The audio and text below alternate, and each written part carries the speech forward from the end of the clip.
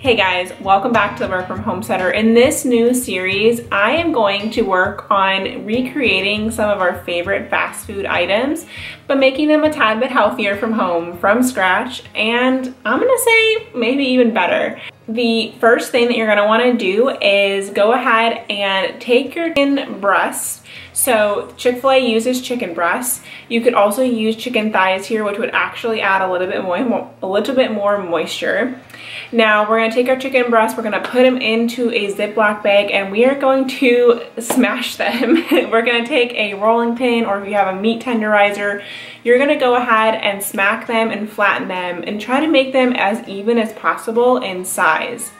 Once you've achieved that, you're gonna go ahead and slice them in half and you're going to add some pickle juice in there. So pickle juice is an awesome flavoring and it is what people say they use for Chick-fil-A, but Chick-fil-A has actually um, said that they don't use pickle juice. They use sort of a brine, but pickle juice is a really good substitute and it's something that is really easy for everyone to have access to and to use. So I'm just using some pickles that I canned earlier this year and I'm just saving the pickles for later to throw on the sandwich. Once you do that, make sure you seal it up, take out as much air as you can, shake it up, and then you're gonna wanna go ahead and put it into the fridge and let it sit for at least 30 minutes. I did four hours. If you can do overnight, even better.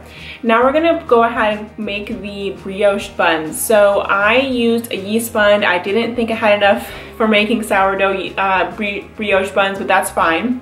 Um, so you're just gonna put the yeast, butter, eggs, milk, and um, mix that up together. Um, and then we're gonna add in the flour and don't worry guys, I will put all of the recipe instructions in the um, footnotes below so you guys don't have to make sure you're, you know, taking out any notes for the recipes or anything like that.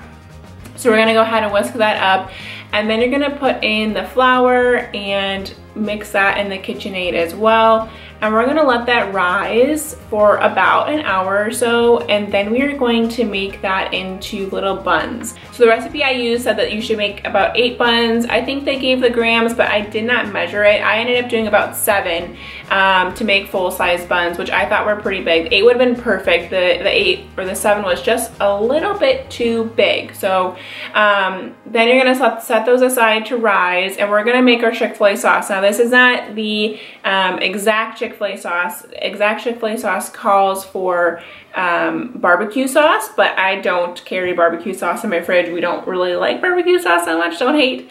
Um, so I made something pretty close, but if you want an exact recipe, you can always find those online and using the barbecue sauce.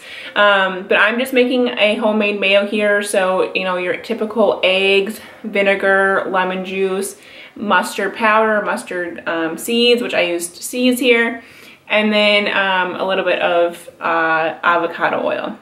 I'm gonna go ahead and blend that up and then after I blended it I um, took away half because my husband doesn't like Chick-fil-A sauce so I just had mayo for his sandwich and then I added a bunch of honey to this as well and that really gave it that kind of mustard honey flavor. If you had like liquid smoke i think that would be pretty good here too if you didn't have barbecue sauce but you had that it would kind of give it that like umami flavor.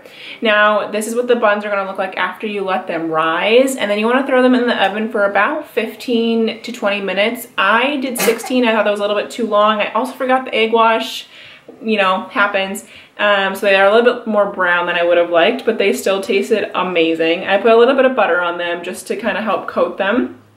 And now we're gonna do our flour dredge. Now you're gonna want about two to three cups of flour. I did three, but I actually thought two would have been just fine.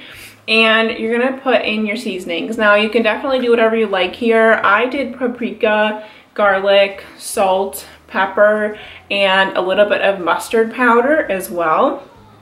And then I just mixed it up so made sure that all everything was really blended really well. And then I went ahead and made my egg wash. So the egg wash is gonna be a little bit of milk, a little bit of eggs, and you're gonna mix that all together to make sure that it's well incorporated.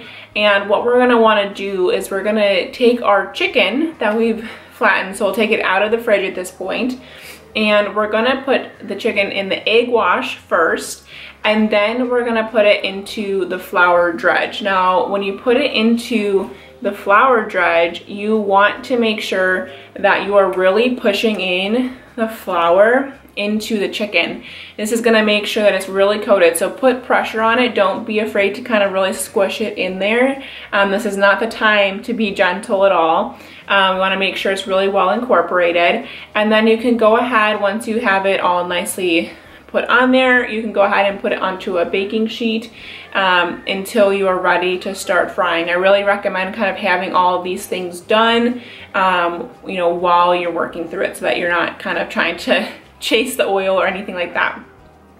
So once that's done and you have your oil at about 350 degrees, which I would probably start to do, heat it up while you're doing your chicken, um, then you can put it into your, uh, put the chicken into your oil. Now I didn't have a thermometer, so my first ones were actually a little bit too hot but it definitely improved the more that I did. And that's just, that's learning, right? Like, we're not gonna be perfect.